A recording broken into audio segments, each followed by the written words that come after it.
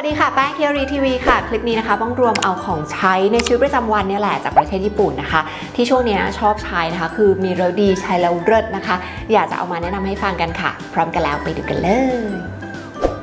มาเริ่มกันที่ชิ้นแรกเลยนะคะ เป็นชิ้นที่น่ารักแล้วก็ใช้ดีมากๆค่ะ นั่นก็คือ eye warmer ชิ้นนี้คือใช้แล้วชอบมากค่ะ คือทำให้หลับง่ายหลับสบายนะคะ แล้วก็ทำให้ตาของเราในชุ่มชื้น คือช่วยผ่อนคลายใครตาล้าอะไรอย่างเงี้ยนะคะ นี่แนะนำเลยค่ะ น่ารักมากๆเลยนะคะ ชิ้นนี้นะคะพังพรีมาจาก Amazon Japan นะคะ คือใครที่มีปัญหาจ้องคอมนานนะคะ ตาแห้งตาล้าแนะนำพวก eye warmer เลยค่ะ จะใช้ของเมกูริทึมที่แบบใช้แล้วทิ้งก็ได้นะ แต่ว่าแบบนี้เนี่ยจะสามารถปรับอุณหภูมิได้นะคะ แล้วก็ใช้ได้นานแล้วก็ใช้ได้บ่อยค่ะ ตัวอุปกรณ์ของเขาสามารถปรับอุณหภูมิได้นะคะ ความร้อนเนี่ยจะเอาระดับแค่ไหนตั้งเวลาได้นะคะ แล้วก็ตัดออโต้ด้วย ก็จะเสียบเข้ากับ USB นะคะ ที่เป็นตัว power bank ของเรานะคะปลอกนุ่มนิ่มของเขานะคะ สามารถนี่ค่ะถอดออกมาเพื่อเอาปลอกเนี่ยไปซักได้นะคะ แล้วก็ควรซักบ่อยๆ ด้วยเพราะว่าเป็นแหล่งสะสมเชื้อโรคฝุ่นแล้วก็พวกแบคทีเรียเนาะหรือใครขี้เกียจนะคะ ใช้วิธีแบบแป้งก็ได้ค่ะ คือใช้เป็นทิชชู่นะคะนี่พับครึ่งแบบนี้นะคะ รองเอาไว้ แล้วก็ค่อยสวมเข้าไปที่ตาของเราแบบนี้ก็ได้ค่ะ ต่อไปชิ้นที่ 2 นะคะ เมื่อกี้พูดถึงทิชชู่กันไปแล้วก็ขอแนะนำกันสักนิดนึงค่ะ เพราะว่าแบรนด์ทิชชู่ที่ขายดีอันดับหนึ่งจากประเทศญี่ปุ่น เขาเข้ามาขายในเมืองไทยแล้วนะคะนั่นก็คือ Cotton Tissue จาก Ariel หรือคนญี่ปุ่นเนี่ยเขาก็จะเรียกกันว่าแบรนด์เอริเอรุนะคะ เป็นแบรนด์ทิชชู่ที่ขายดีอันดับหนึ่งของประเทศญี่ปุ่น ตอนนี้เขา import มาขายในเมืองไทยแล้วนะคะ คือเป็นแบบ made in Japan เลยค่ะ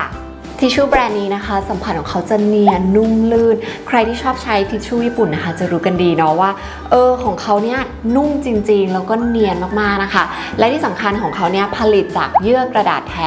100%ไม่มีสารเรืองแสง ที่บ้างเคยดูในรายการทีวีญี่ปุ่นที่เขาพาไปชมโรงงานนี้นะคะ ก็ยิ่งใหญ่อลังการมากค่ะ เขาจะมีนวัตกรรมใหม่ๆนะคะ ในการทอกระดาษเช่นแบบเฮ้ยการเรียงตัวของเยื่อกระดาษนะคะทำให้สัมผัสเนี่ยนุ่มลื่นนะคะ ลดการเสียดสีลดการการระคายเคืองนะคะ ไม่เป็นขุยแล้วก็เป็นฝุ่นๆได้ง่ายค่ะ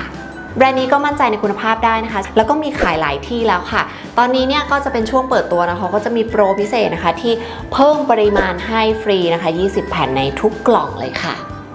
ต่อไปชิ้นที่ 3 นะคะอันนี้เนี่ยขาดไม่ได้เลยช่วงหน้าร้อนค่ะ เวลาก่อนออกจากบ้านเนี่ยชอบฉีดที่เสื้อมากๆนะคะ ก็คือสเปรย์ผ้าเย็น ชิ้นนี้นะคะจะเป็นสเปรย์น้ำเมนทอลที่ใช้ฉีดบริเวณเสื้อผ้าของเรานะคะ ห้ามฉีดโดยตรงกับผิวนะคะ วิธีใช้ก็คือฉีดเสื้อด้านในนะคะพ่นจุดละ 2 ครั้งนะคะ เวลาฉีดเนี่ยก็ห่างจากเสื้อประมาณสัก 10 เซนขึ้นไปค่ะ จากนั้นเนี่ยก็สวมใส่ได้เลย ชิ้นนี้นะคะ work มากแล้วก็เย็นสบายผิวมากๆเลยนะคะ ในไทยเนี่ยหาซื้อได้นะคะ มีขายหลายที่เลยพวก drugstore ญี่ปุ่นในไทยเนี่ยเพียบเลยค่ะ แล้วก็มีไซส์เล็กขายด้วยนะคะ พกพาได้ค่ะ มาถึงชิ้นทีสี่ 4 นะคะ พูดถึงสเปรย์ก็ต่อกันด้วยสเปรย์อีกหนึ่งชิ้นที่ขาดไม่ได้จริงๆเหมือนกันนะคะ ใช้ตลอดปีโดยเฉพาะช่วงแบบไปทริปไปอะไรนะคะ นั่นก็คือสเปรย์ผ้าเรียบชิ้นนี้นะคะเป็นสเปรย์ผ้าเรียบโดยที่ไม่ต้องรีดนะคะ จากแฟลร์นะคะ จากที่ใช้มานานนะคะ ก็รู้สึกว่ามันจะได้ผลดีมากๆกับเส้นใยที่เป็นเส้นใยธรรมชาติที่มันไม่มีความลื่นนะคะ ผ้าที่ใช้ไม่ได้นะก็จะมีแค่พวกผ้าไหมกับเรยอนแล้วก็พวกหนังต่างๆนะคะ เวลาใช้นะคะก็ฉีดที่รอยยับนะคะ ประมาณ 2 พุชต่อจุดนะคะ จากนั้นเนี่ยก็ดึงผ้าออกด้านข้างค่ะ ซ้ายแล้วก็ขวาแค่นั้นเองนะคะ ผ้าที่ยับเนี่ยก็จะเรียบขึ้นนะคะ หรือในช่วงที่มันอากาศแห้งๆนะคะ เกิดไฟฟ้าสถิตผู้หญิงเป็นแน่นอนนะคะ เวลาที่แบบกระโปรงอะชอบแนบกับตัวชุดแนบกับตัวไปหมดเลยนะคะ อันนี้คืออาการไฟฟ้าสถิตนะคะ ก็พ่นชิ้นนี้นะคะ บริเวณด้านในเสื้อผ้าของเรานะคะ ที่มันติดกับตัวของเรา แค่นี้ค่ะ ก็จะไม่เกิดไฟฟ้าสถิตแล้วค่ะ และอีกหนึ่งอย่างที่ชอบมากๆเกี่ยวกับสเปรย์นี้ก็คือกลิ่นของเขาหอมมากๆนะคะ เป็นการปรุงแบบน้ำหอมเลยค่ะ